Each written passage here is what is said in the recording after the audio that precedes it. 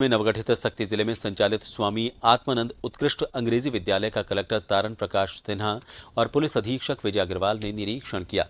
इस दौरान पर्याप्त राशि उपलब्ध कराए जाने के बाद भी काम संतोषजनक नहीं दिखाई देने पर कलेक्टर ने संबंधित ठेकेदार के अलावा पीडब्ल्यूडी के अधिकारियों पर नाराज़गी ज़ाहिर की।